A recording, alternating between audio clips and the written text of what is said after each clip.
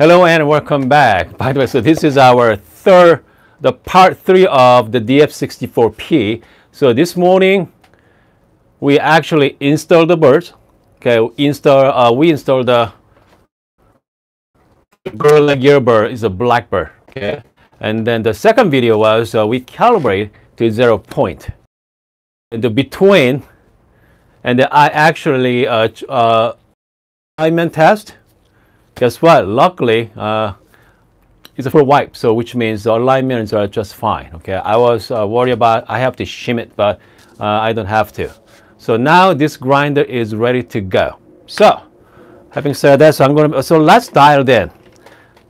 So I have this uh, light, medium to light roast from uh, my friends at Good Brothers Coffee. Here it's called Bricks Breaker. Very interesting tasting note though.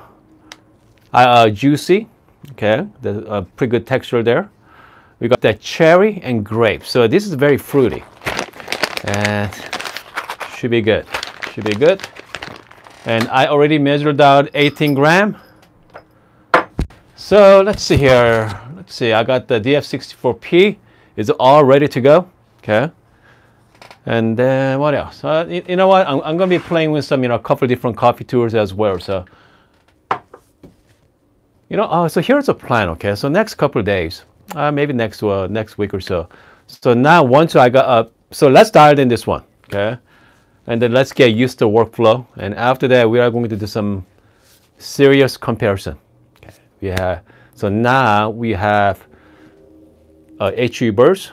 Uh, P64 has the, the SSP high uniformity burrs. I have two other DF64 here. I got MP burrs, I got multi-purpose and CAS burst. And also we have the, the Gorilla Gear, the Black Burrs as well. And then also I do have a stock burrs. Okay, uh, it's called uh, DF64E, the electric version. Uh, DF64E has the kind of like they give you a screen, pretty much like uh, think of it as uh, P, but has an electro uh, electronic screen on it. So that is, and I should be unboxing that next couple days. Okay, here we go. So this is the DF64E, okay? Should be unboxing in the next few days. By the way, I'm gonna shout out to Joe from Espresso Outlet to uh, send us this, send me this to kind of like showcase on this channel. By the, uh, and also, this coffee machine, is that perfect? No, it's not, okay? The fact is that perfect like, you know, P64 over here. There's no comparison. But the DF64P feels somewhat, I say somewhat premium than regular DF64. Uh, I feel like the build quality is a little tighter than DF64, but okay, huge difference between DF64 versus DF64P. Uh, DF64P is espresso focused. Uh, the other hand, uh, DF64, just regular DF64, you can do espresso all the way up to French press. That's huge difference.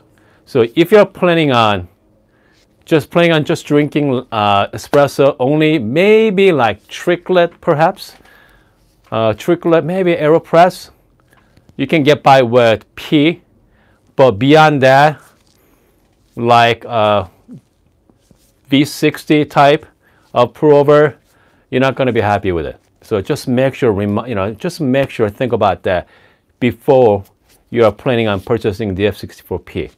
Uh, this is only about 420 bucks. Okay, it's not that expensive. Comes to grinder, uh, compared to niche. Yeah, I mean it's a lot cheaper. So, and I highly encourage you to, if you're planning on buying something like this, especially DF, the DF models, uh, make sure get the SSPs. Okay, it's definitely worth spending a couple hundred, uh, couple hundred dollars to upgrade your burr set. And also make sure have them set up for you as well. Have, have them set up the alignments.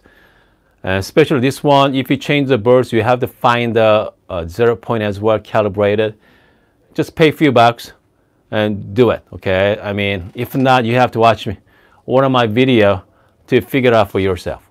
So you know, so, so some people like to figure out themselves, but you know what? Mo, you know, most of us out there, I mean, I want something kind, uh, kind of like a turnkey, right? The turnkey options. Just get the box. I, I want to open it and start playing with it. All right, so enough introduction here. Uh, I got already got 18 grams. So I'm going to test a few things. I'm going to test the retention rate, and also uh, what what else are we going to test? Uh, I gotta. I'm trying to dial it in at two shots. Okay, hopefully I can. Hopefully I, I'm going to try twice. So I set up my zero point. Okay uh, because because I, because I want the you know I set up five no reason and so I'm gonna start with grinder size maybe number 30 uh, 35 hold on a second here. I'm gonna start with the 35 first. I'm just gonna go start from the middle. And then do some dialing in. There we go. Okay, so my zero point at uh, number five right now. So I'm just gonna start with the number uh, 35 as my starting point for my this coffee right here. you know what? Let's do direct dose. I'm gonna be doing the direct dose from the coffee. Uh, if you guys like direct dosing, I think Joe is selling this like adapter. That's not a bad idea. Okay. Oh, hold on a second, guys. Second thought, if I do direct dose, I cannot, uh, you know, I cannot measure it. So, because I do want to check out the retention. Yeah. I want to check out the retention here. What kind of retention are we going to get?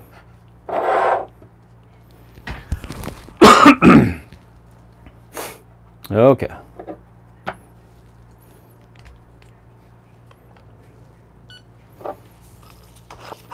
Okay, shot number one. I got 17.8 gram. Hold on, let's make it a let's make it a 18. Man, by the way, this coffee beans, look at the size of it. This thing is huge. Okay, this is pretty big beans there. I got 18 gram going in right now. Okay, here we go.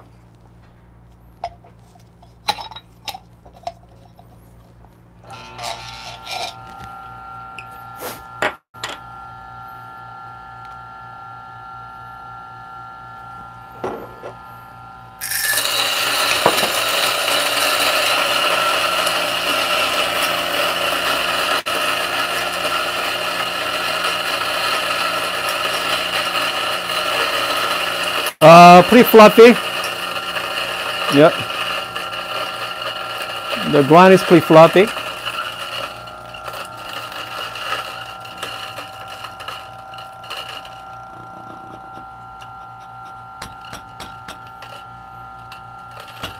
Okay.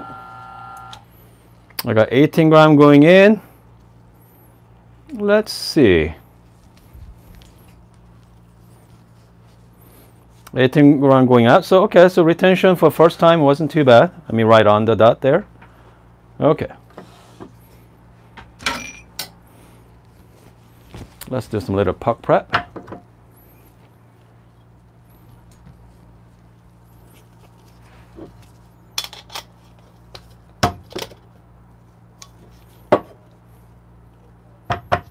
I'm just gonna play with this one I just got from Normcore.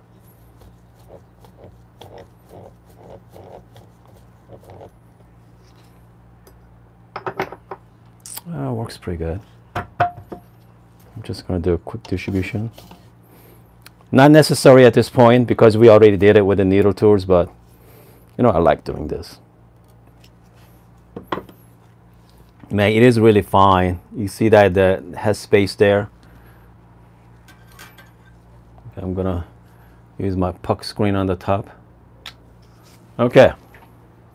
shot number one. there we go, shot number one here.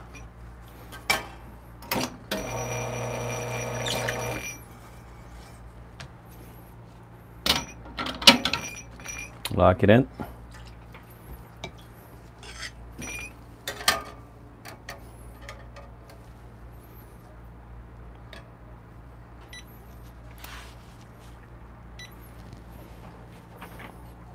All right, let's take a look.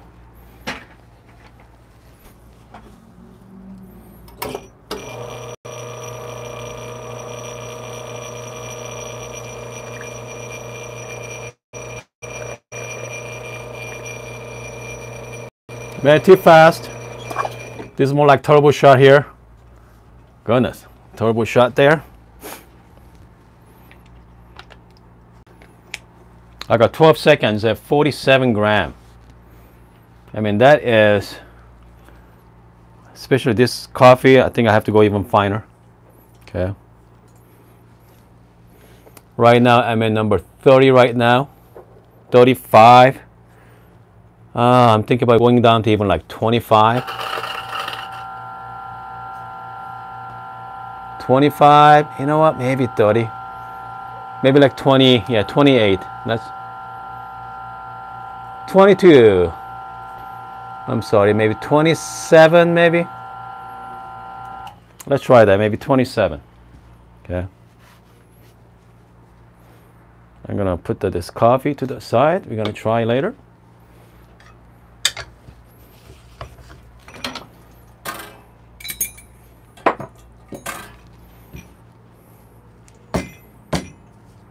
Okay, so we know this one does pretty good job uh, comes to retention wise, this time I'm just gonna go on direct dose.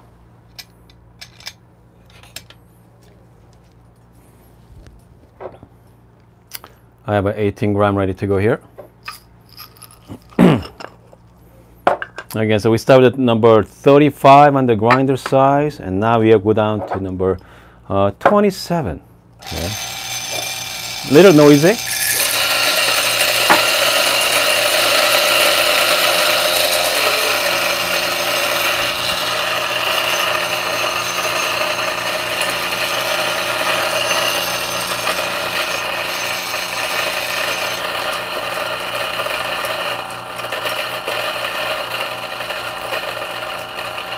Yeah, these beans are too large, so they're a little struggle right now.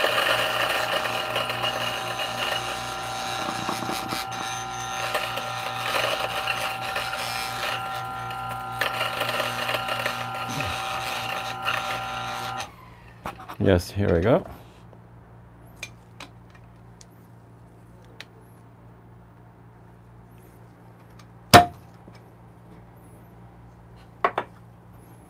You know what? This time I'm just going to do manual WDT. Okay. I'm just going to do manual. The great thing about the manual, you can actually go all the way down to the bottom. Okay. Yeah.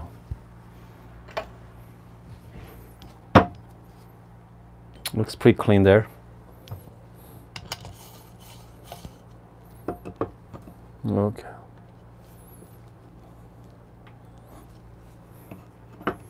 Yeah, pretty fine. Grinder size.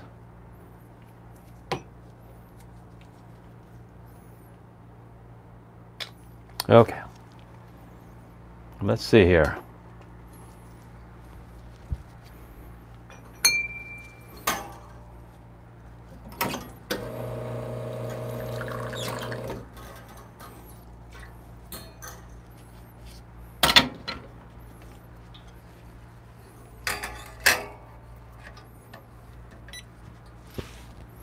All right, the shot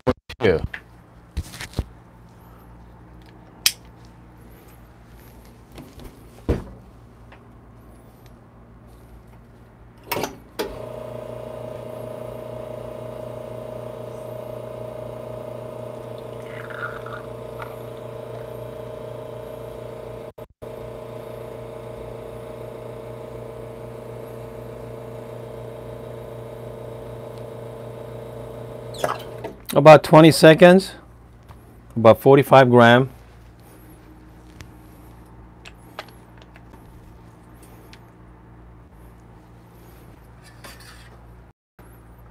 You know what? I'm gonna do one more time. Okay, let let's do one more. Okay, let's do one more there.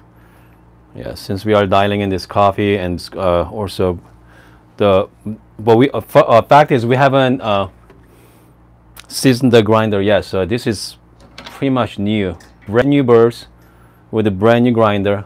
Though okay, by the way, the reason why I like to use a puck screen, this is why.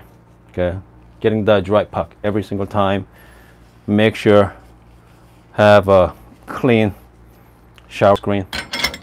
Okay, let's do one more. So about what 18, 19 seconds for 45 gram. Right now I'm at like 20, uh, 27. So I think I'm gonna go down even more, okay? The fact is we have plenty of space between, so I'm not worried about running out of room. Maybe we're gonna go down to maybe like 22. Yeah. 22 there, about five clicks difference.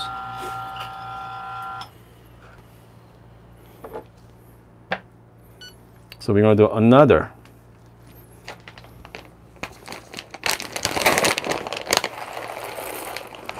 All right, here we go. Let's do another 18 gram.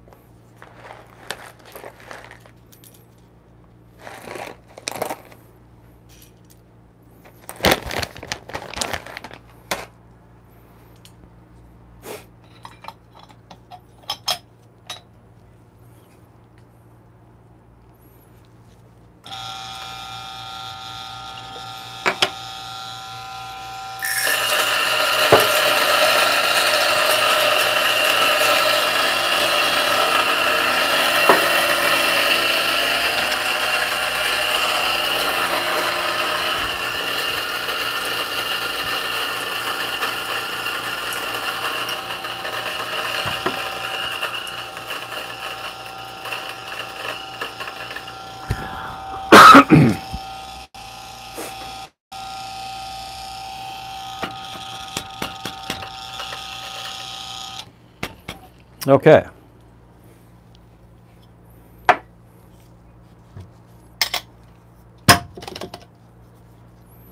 Man, this is really fine though. Goodness. So let's see.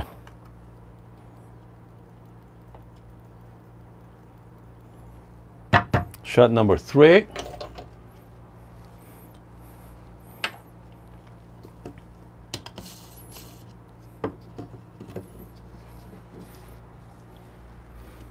Maybe this time I'm gonna use a force tamper here. Oh, man, you see the head space now. This is pretty fine. Okay, so this is really fine, but obviously we do, we still have what? Let's see here. I set up five as my zero points. I got I got I got five, 10, 15 clicks. So we have to go down. So that's why this is great for someone into espresso. Definitely not for filter coffee.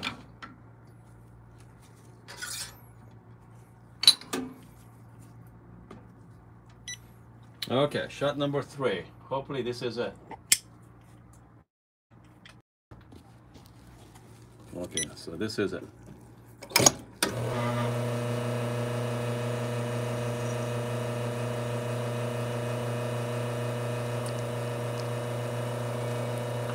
Man. It's choking.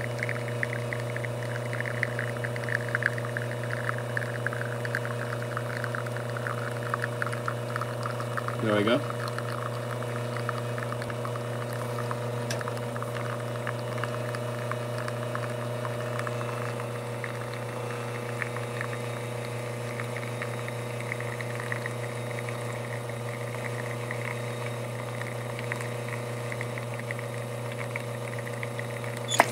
I got about 44 seconds and about 36 grams, so 1 to 2 ratio.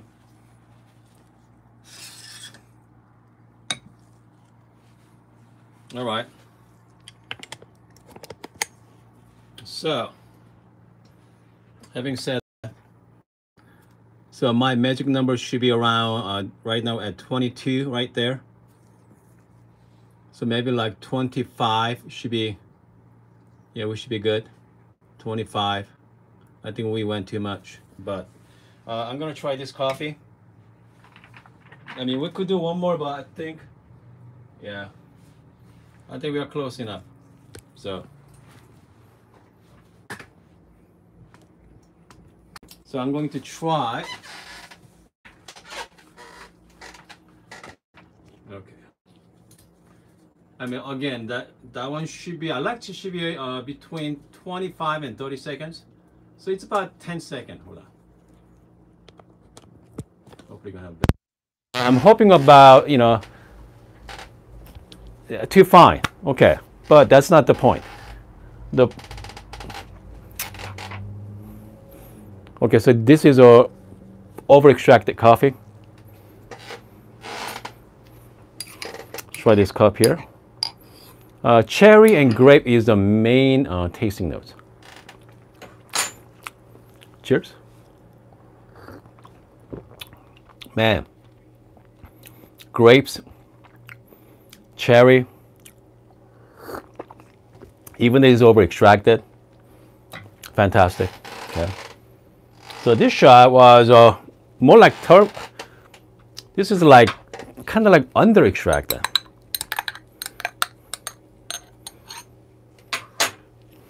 Here we go. Oh yeah, I can taste a lot of cherry right now, a lot more cherry. Man, cherry and grapes. Okay, so let's talk about this uh, DF64P. So this is uh, made for someone likes to enjoy espresso. That's it. Someone likes to enjoy espresso. Uh, if that's what you're looking for, definitely check out uh, Joe, okay, Joe uh, Espresso Outlet. He has, man, uh, I, I just checked out his website just now. Goodness. Yeah, let me show you. Let me show you what he got on his website. He got them all. Anything to do with the DF64, he got it. Got the SD40 he's selling for 260. We have open box DF64 for 395. DF64 version 4 at 400. So this is the one, okay, I'm showcasing right now. 420 for the DF64P. So this is the version 4. Okay? So this is the E. Uh, I'm, I'm, I'm going to be showcasing next few days. 400, so pretty much any, everything is under 400, uh, $500 there. So this is the new one that just came out, DF6483, okay, DF83. So this is the 80 millimeter Man. So, I mean, if you guys are looking for uh, espresso capable, man, you know what? I have to say, uh, so far I really enjoy the DF64. DF60, just plain DF64 has you can you, you can do espresso all day up to uh, French press. All right, all the way at the French press. So, but with this one, DF64P, uh, we talked about earlier, this is only good for espresso. Maybe like AeroPress. But if you want to do something more, like V60 or French press, it's not the one. Okay, it's not the one grinder for you. So, um, comes to dialing in, you have plenty of, they are stepless grinders, so you have plenty of the kind of like room to go fine and finer. So that's not the problem.